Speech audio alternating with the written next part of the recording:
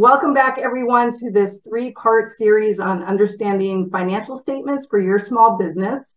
My name is Tina Oddleifson, and I'm an advisor with the SBDC in Maine. And these videos are uh, to help you as a small business owner understand how you can use financial statements to actually manage your business. Our first video talked about the income statement. That's video number one. And so if you haven't seen that one, I would recommend that you watch that first because there is information that's going to be relevant to this balance sheet discussion. But if you've seen it, great. It's it's time to take a deep dive into the balance sheet. So as a reminder, the balance sheet is like looking at the health of the tree trunk of your business. It's the um, sustainability, the strength of the structure beneath your business that we're looking at and measuring. And to me, it's actually the most important report that that we look at for a business, and uh, you'll you'll find out why. So on a balance sheet, there's just three things: there's assets, liabilities, and equity. And if you've ever heard the word net worth statement. This is the same exact thing, but it's for a business. So when someone has a net worth statement, we're saying how much does someone own? How much do they owe to other people? And what's the difference between those two things? Um, whatever's left is their the part that they own. It's like when you have a mortgage on a house and uh, you've got a big mortgage essentially the bank owns most of your house but as you pay off that loan you start owning more and more of that house. And that's what that's what a balance sheet is showing you too. So assets are on a balance sheet and assets are things that you own that have value into the future. It's things that are not expenses. Expenses are things that we pay for in our business that get used up right away in the operations of that business, like rent or supplies or um, you know just small equipment that we might use that's really not that valuable. Assets are the big things. It's it's real estate, it's equipment, um, it's vehicles, it's the it's the money in your actual business bank account. So that's assets.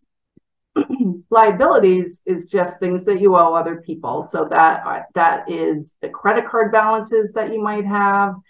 It's what's called accounts payable. And accounts payable is just keeping track of bills that you owe other vendors. You may have purchased things from them, but you haven't paid them for paid those vendors yet. So that gets tracked in what's called an accounts payable account.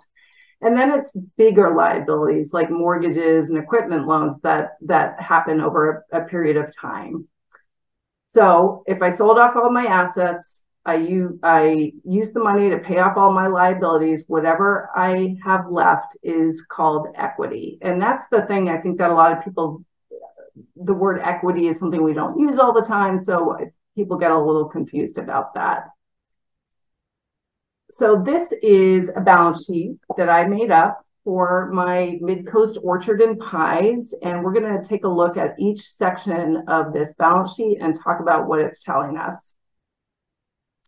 So the first part is current assets, and current in this case means assets that can easily be turned into cash within less than a year. Obviously, money that's in a checking account, it's already cash um, accounts receivable is considered an asset. And accounts receivable is if you have a business where you give a product or service to someone and you send them an invoice later, the day that you book that sale, it actually gets recorded as a sale to your business. Just like if you walked into a hardware store and you took out a bunch of stuff in that hardware store because you're a builder and you have a relationship with that business and you have a house account, they're going to record that as a sale that day. Uh, but it but the money from that sale is not going into the checking account because you're going to pay for that later. So it goes into an account called accounts receivable. And then when you do pay that, it moves from accounts receivable into the checking account and it's considered an asset because you made that sale. And it's true that some people don't pay their bills and there's ways for us to account for that, but generally speaking, it's a it's a solid asset. And typically it's going to get paid within a month. The next part is your fixed assets assets. And this is the big stuff, the equipment, vehicles, real estate. It's considered fixed because to sell it and get that cash back out is going to take some time. Uh, when we use the word liquid or illiquid, it's the same idea. Liquid assets are things that can easily be turned into cash, like they they are flowing easily. I think that's where the word liquid comes from. Fixed is it's it's more um, set, and it's harder to get the cash out of it on a fixed asset section of a balance sheet, you'll see the original cost that it costs to buy these things. And then you'll see this line called accumulated depreciation. And what that is, is a way to reflect the lost value because the more you drive the truck, the less it's worth. We all kind of get that. It's also a way for us to uh, take an actual expense over on our income statement um, because the IRS allows us to deduct that value, and we want to deduct that value on our income statement because it lowers our taxable profit. Uh, so you're going to see on here the true value of the fixed assets after you take a look at that accumulated depreciation line. On the other side of the balance sheet are current liabilities, and just like current assets, they're things that need to get paid within this, typically within 12 months. So it's going to be your credit card balances, accounts payable. If you're the customer going into the uh, hardware store, you're going to get a receipt, you're going to come home, put it in your accounting software, and you want to keep track of what you owe other vendors. So that's your accounts payable. You need to pay it off this year. And then the long-term liabilities are the longer term loans. So mortgages, equipment loans, vehicle loans, things like that. So then we get into equity. And remember, our assets minus our liabilities leaves us with equity. And the equity is tracked in three major accounts. The first is owner's investment and owner's draw. And what that means is when you, a lot of times when people open a business, they put in their own money. They take personal funds, they open a business bank account, and that's their investment. So that gets tracked because that's your money. That's that's part of this business that you own. A lot of owners also take money out of their business, and that's called an owner's draw. And for a lot of businesses, unless you are an employee of your business, which is a specific kind of tax um, strategy, then the way that you get paid when you get when you own a business is just to take money out of the business bank account when you need to pay your business your personal expenses and so that's called an owner's draw. That gets reflected in that line. The second major equity line is retained earnings and what that is is just the accumulated profit over time of your business that's that's still in this business. And then finally you'll see a net profit and loss number on in the equity section of a balance sheet and that is actually the same number that's on your profit and loss statement. If you remember from our previous video, our net profit on our business was $61,500.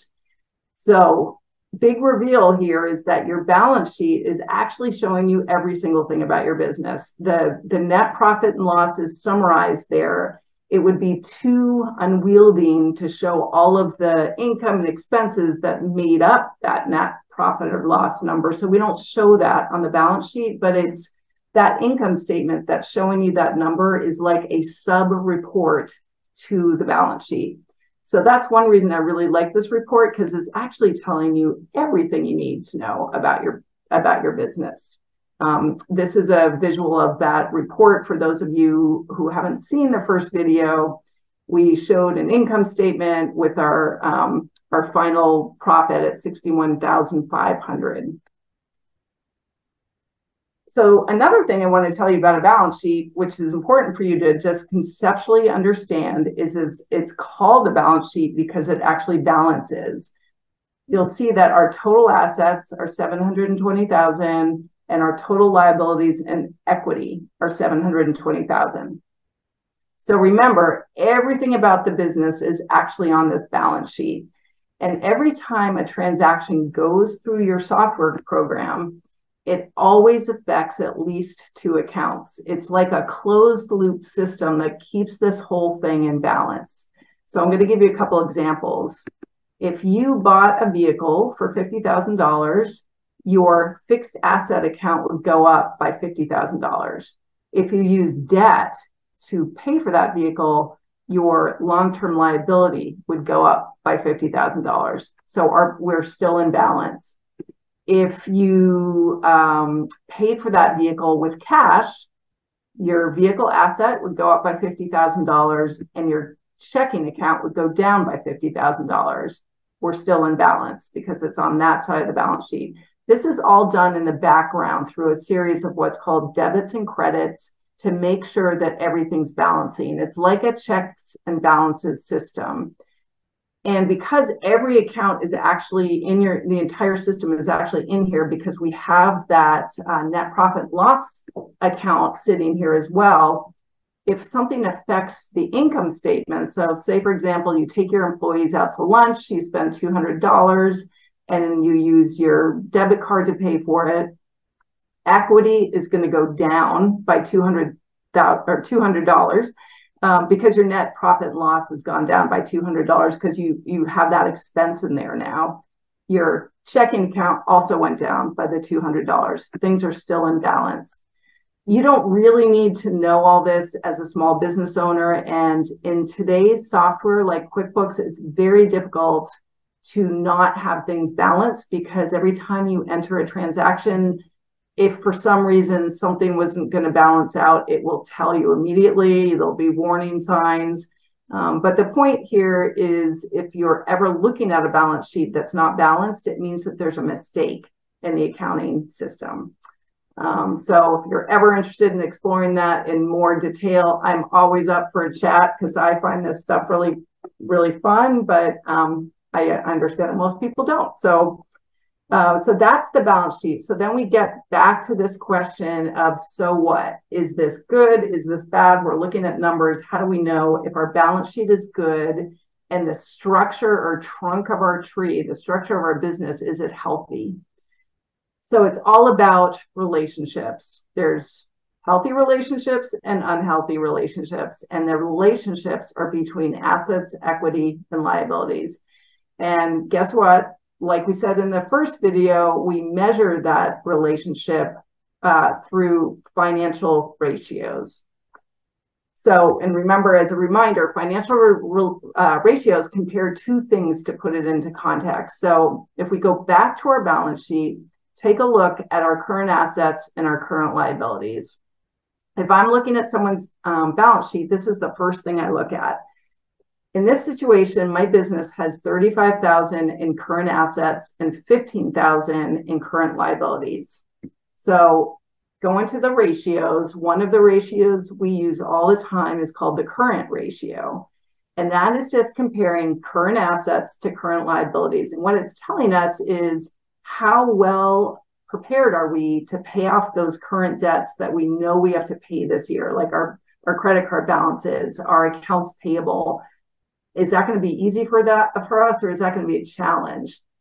So we compare those two things through by by through a ratio. Um, so we divide our current assets by our current current liabilities.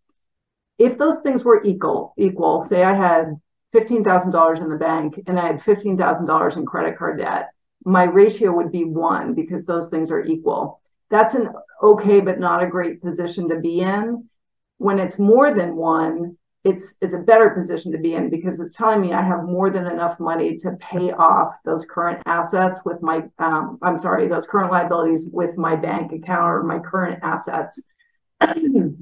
so in this case, if I take the $35,000 in current assets, which is my bank account balances and my accounts receivable that I'm likely to get cash from soon, and I divide that by what I owe other people in the next year, I get a 2.33. That's telling me I have twice more than twice the, the cash or the assets to pay those liabilities. So that's good. Anything over one is good. The farther away from one is even better. So that's something I look at. And if I see a business that has $5,000 in its bank account and $10,000 in credit card debt, that would be a 0.5, and that's not good. So another relationship that we look at is the relationship between liabilities, or we also call liabilities debt, and our total assets. So if we go back here, and we look at our total liabilities at 485,000 and our total assets at 720,000, what that's telling me is how uh, how is debt being used in the business to fund the assets of the business? So if I have $485,000 in debt or liabilities and I have $720,000 in assets and I'm comparing the relationship of those two things, it's telling me that 700 um, that 67% of my assets are being paid for with debt so whether that's good or bad often depends on your industry that's that's one thing that you're going to look at but there are some general markers out there just to to know about so generally a debt ratio of 4.4 or less is considered good for most industries and that means that 40% of your assets are being funded with with liabilities. Once you get 50, 60, 70, it's telling me that a lot of debt is being used in the business. And the reason and a deeper issue that might be happening there is that the business isn't generating enough profit to pay for the assets of the business. Businesses have to keep reinvesting in themselves. Um, assets wear out and you have to replace them. So if more and more of that is being funded with debt instead of with equity, then I'm wondering why. Um, I'm wondering what's happening in the business. And then another one is your debt to equity ratio. So if we go back again, debt to equity, we're looking at 485,000 again is our debt number, and equity is 235,000. That's the amount that um, has been generated that I can take home through my retained earnings, my profit and loss for the current year, and any investment I made. So when we compare those two numbers, what we're asking is um, how much debt is being used to fund assets versus equity. And in this case, debt is a lot higher than my equity. Uh, it's twice as much because I have a 2.06. Generally speaking, again, depends on your industry, but higher than two is not so good because it's saying twice as much debt. I have twice as much debt in this business as I do equity. And this all gets back to how we're looking at the sustainability and the overall structure of the business. And that's what um, a balance sheet is telling us. And then another thing that I look at when I when a business comes to me and I'm looking at their balance sheet, I'm looking at their fixed assets and then I'm looking at that accumulated depreciation line and I'm asking myself have these assets been fully depreciated? And if they have, that's also a red flag because it's telling me that nobody's reinvesting in new assets. So when the truck wears out, it's still getting used. When the equipment wears out, it's still getting used. And that also is a red flag to me that the business is not creating enough profit to pay for new assets. And um, that's making the trunk of my tree weaker. So those are just some of the ways that we look at a balance sheet. Uh, there's a couple more ratios I want to mention to you that you as a small business owner might want to know about. And the first one is called a debt service coverage ratio, and it's taking um, it's it's a ratio from your income statement. And what it's doing is if you go to a bank and you want to get a loan, this is the first thing a banker is going to calculate. And what it's what they want to make sure of is that you are generating enough profit in your business that you could easily pay the loan, both both the principal and the interest part of the loan. And the way that that gets measured, it was we take our net income number. So, in a, I have an example here: a business makes hundred thousand dollars in profit, and they want to take on a loan that's going to cost them sixty thousand dollars a year in loan payments, both principal and interest. So I divide my hundred thousand dollars by my sixty thousand dollars, and I get a one point six. What that's telling me is that I can make the loan payments and plus some if those two numbers were equal, if I made $100,000 and I wanted to take on a loan that was going to cost me $100,000 a year, that's not good because that's that's saying, you know, I just am eking by so I can pay that loan and a banker is going to say no. Most banks have different requirements, but usually a minimum of a 1.4 is is required. Um, but that's something that you should just you can just do on the back of an envelope to figure out is a lender likely to give you money.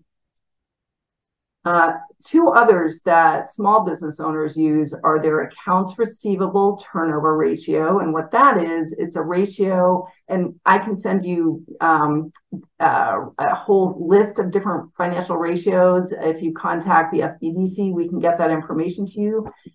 And what an accounts receivable turnover ratio does is measures how quickly you're collecting from your customers that you send invoices to if that ratio says that on average your collection date is you know beyond a month that's telling me there's a problem because you need to get that cash into your business. And if it's taking you more than a month to get paid by your customers mm-hmm. that's that's not a good uh, metric. There's also a metric that or a ratio that we calculate that helps us understand how quickly you turn over your inventory if we do that and we find out that it's taking you a really long time to sell your inventory, that's also not such a good sign because it says that you may have obsolete inventory that people don't want anymore. Um, you're buying things that people don't want. So that's that's something that we also analyze. You may have heard um, about financial ratios used to analyze publicly traded companies. There are literally dozens and dozens of these ratios, and they are calculated by finance geeks to tell their customers if uh, investing in a certain company is a good idea. And so literally people sit in offices and do these ratios with software programs. And um, that's what you're paying a finance person for uh, or your investor person. Price earnings ratio, return on equity ratio. You may have, I'm just mentioning them here because you may have heard about them, not typically used for small businesses. Um, but but there's literally dozens of ratios out there to help us understand whether the trunk of our tree is is solid and sustainable.